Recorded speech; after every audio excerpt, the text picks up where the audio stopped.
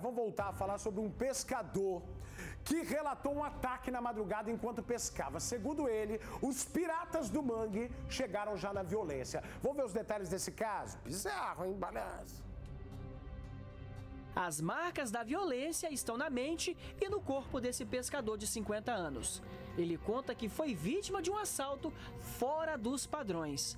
De acordo com o relato, ele foi rendido por quatro suspeitos que estavam divididos em uma moto aquática e um barco a motor. Estava pescando, aí eu fui na ponta da passagem, quando eu subi, eu subi, vieram com um barco, um barco de motor e dois jet ski na minha frente. E só pediram para mim entrar dentro do mangue e não ir para trás. Os criminosos já mandaram que a vítima se jogasse dentro da água e entregasse a embarcação. A vítima então obedeceu e acabou fugindo por dentro da maré. Entrei dentro do mangue, não olhei para trás e nem vi para onde eles levaram meu barco, para onde eles foram, não tem um. Entendeu? Não tô nem querendo negócio de barco. E a história não para por aí. Como estava bastante escuro e a vítima, com medo dos suspeitos voltarem, ele se escondeu no meio da vegetação. E não é que a vítima estava com razão. Os criminosos voltaram e ele acabou ficando todo arranhado e sujo de lama. Quando o dia amanheceu e ele viu que estava seguro, tomou coragem e foi pedir ajuda. Eu fiquei de 2h40 até 7 horas da manhã do outro dia. É, no meio da lama, dentro da lama, bebi água salgada, comi aratu, que não tinha nada para comer. Eu comi uns 8 a 10 aratu, não tem cru. A embarcação é simples, movida a remo e ainda não foi localizada. Quem souber detalhes pode ligar para a polícia pelo Disque Denúncia 181. O caso já está sob investigação.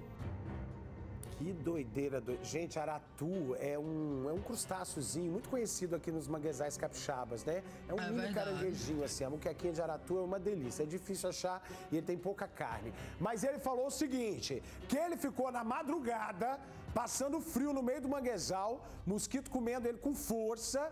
E aí, gente, ele apavorado, tá? Por quê? Ele estava pescando, segundo ele, é um pescador experiente, tal, beleza, nessa região linda ali, o encontro do rio com o mar, o manguezal, essa região aqui da nossa capital Vitória. Coisa linda. Aí, gente, os caras chegaram, ele estava pescando no barquinho dele. Os caras chegaram de jet ski, os piratas do mangue, como a gente tá chamando aqui. Os caras chegaram e falaram: ó, oh, nós vamos levar sua embarcação. Ele na hora não entendeu bem, ele achou que os caras queriam bater um papo com ele, perguntar se, se tinha peixe ali, se tava bom pra pescaria, mas não, era bandido. E ele sozinho, tá? Ele sozinho, os caras no jet ski, velho. Eu nunca imaginei um negócio desse. Tava muito escuro, ali não tem, não tem câmera de vídeo de monitoramento, até do outro lado até tem. Mas como que no escuro? Não deu para filmar, não registrou. E aí, gente, ele ficou ali desesperado, os caras vazaram, levaram o barco dele embora, deixaram esse pescador lá no meio do manguezal, ele passou várias horas escondido, com medo dos caras voltarem. Ah, tá, um detalhe, tá?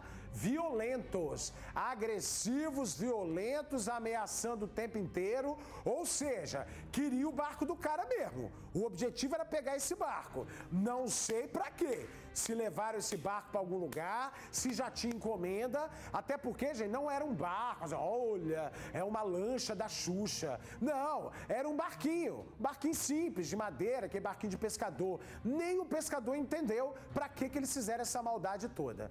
Tá bom, gente?